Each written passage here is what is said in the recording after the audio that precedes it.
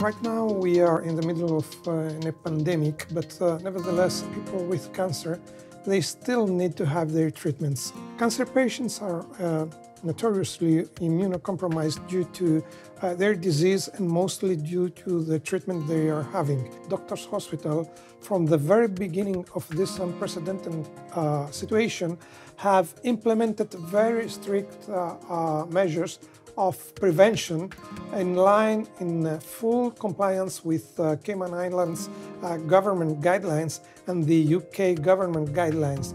And we have implemented strict uh, measures of screening who uh, to access our facilities and who not. We have to ensure to everybody, first of all to our patients, but nevertheless also to our staff and to the community of Cayman Islands, uh, their safety, their uh, health uh, uh, safety, because after all, this is our job.